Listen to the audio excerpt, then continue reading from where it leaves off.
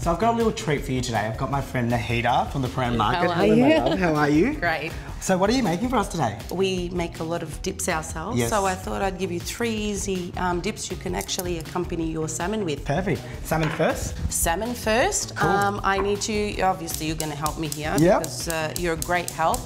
I'm going to need a pinch of salt on that. Yep. And some olive oil. All right, so if you can pass me the salt. Pass you the salt. Thank you. I'll grab that. So you, you want to salt it and oil it on both sides? Yeah. Can I have the oil, please? Gorgeous. All right. And so you can actually use that on both of them if you want. Just, Okay. just actually rub it all So over. just rub it all in? Yeah, you can. Too easy. So Naheda, you make the most amazing dips, and I love them. you. I come Thank by you. and visit you at least once a week. I, I try to anyway. So is this what's going to happen today? We're making some dips.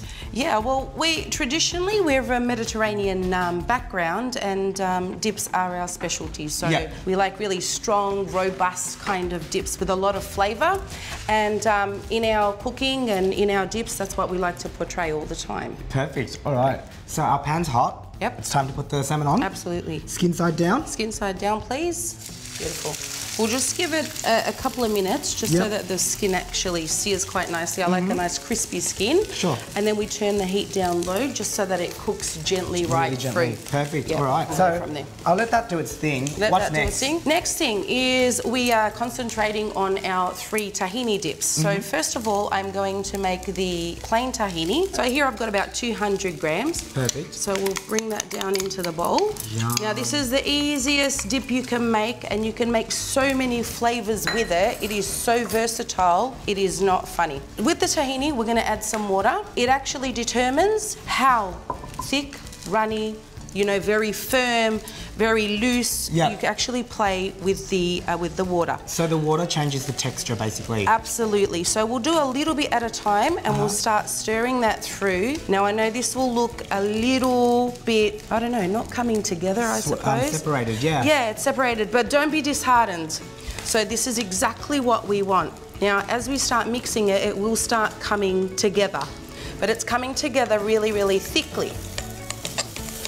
We'll keep doing that until we get a nice kind of thick consistency. That's what we're Gorgeous. that's what we're looking at. I don't want it too runny because I do need to add- add the um, lemon juice Yep. and the salt, and that obviously will change its consistency as well.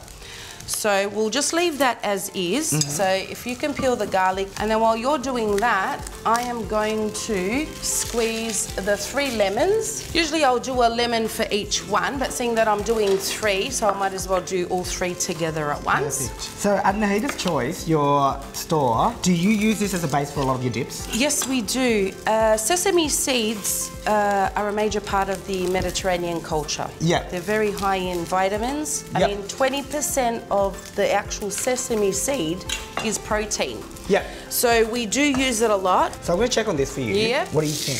That's looking good? I think so, yeah. All right. over. Time to flip. Time to flip. Time to flip. And but keep it on really low heat. Yep, it's on a really low heat setting, low so you heat. want it to be really gentle. Yep, really gentle. Perfect. So I've seen um, tahini used to actually bake fish in. Do you do that? You can bake fish as well in it too. Yeah, gorgeous. So it needs a bit of extra time because the tahini acts differently with heat. Yep. Or if you keep it just in its raw form as well. Yep. So obviously you need to be a little bit more careful. Yeah, yeah, but yeah. what we've what we've done here is the most basic thing that absolutely anyone can do at home.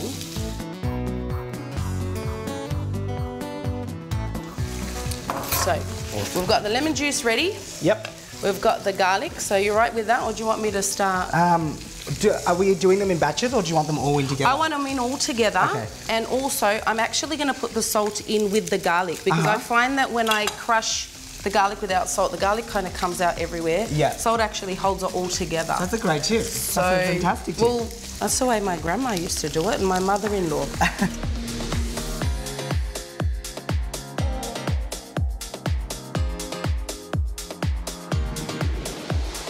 Now, with the tahini, what I'm going to do is I'm going to add two thirds of the lemon juice in here. so is this the texture that you kind of wanted? It becomes quite pasty? Yes. For the garlic? Pasty texture, yeah. That's gorgeous. All right, and I I'm love the smell of it. It is garlic. Who doesn't like garlic?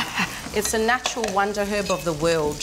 Hmm. Um, I just like about two thirds of that garlic in here. Very nice. Is that it? That's yeah, I think so, yeah. Yep. Just probably a touch more, I think. A touch more. Yeah. Cool. Perfect. I'm here to help.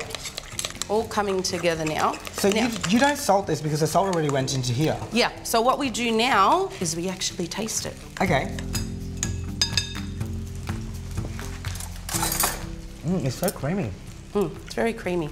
I think I might need a little bit more salt. Yeah. I need think so. salt. So that's why we only put a little bit here, but then we add a little bit more salt here. Like you feel the garlic in your throat. That's why we kept the fish as plain as, Yep. and we play around with the tahini. This tahini is pretty much done, and it's the consistency that I want. So this tahini is done. I've got two separate bowls here. What I'm gonna do is I'm gonna put the tahini evenly into both bowls. And that's going to be for me. So you can really make as much as you want. If you want it a little bit looser, you just add a little bit more water. It's not going to do anything, but it will spread a little bit more. So exactly the same way we made the first tahini, we're going to make with the black tahini. Okay. So again, I'm going to put, put about 100 grams in here. Yum. I mean- the colour's beautiful. Now we're going to add, again, the water. Yep. So we're going to add a little slight amount. And we're uh, going to mix it through. All right, you're going to work your magic and put the garlic in. Yep. All of it. Okay, yeah.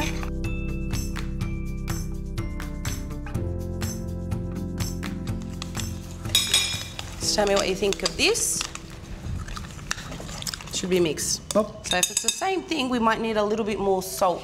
just a pinch. Pinch of salt. Just a pinch. Yeah. Yep. Pinch of salt. So We've got the three tahinis. So we've got the two plain ones and we've got the black one. Now, I'm gonna turn this one into a green tahini. Okay. This is where being creative comes in, a green tahini.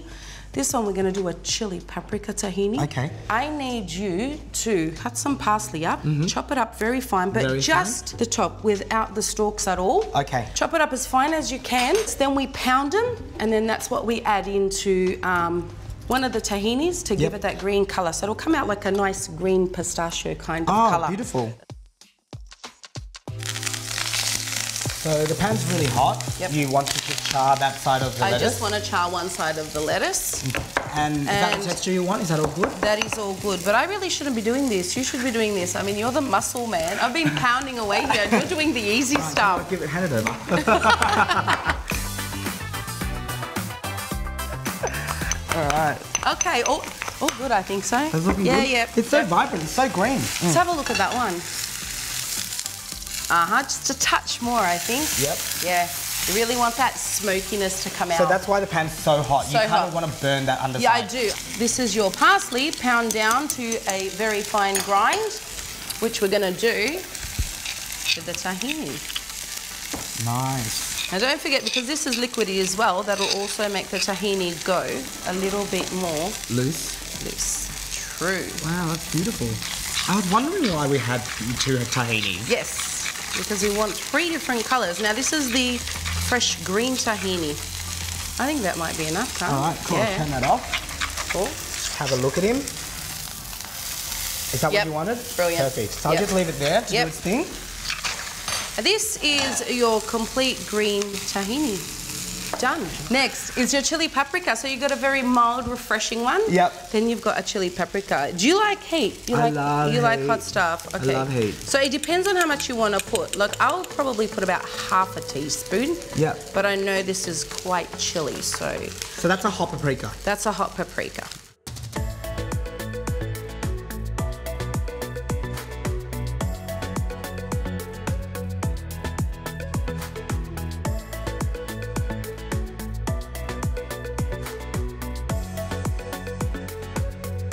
So that's your dish done. Look, I can't wait to get right into this. And Thank give me a you for coming That's all right. today. Thank you. Thank you.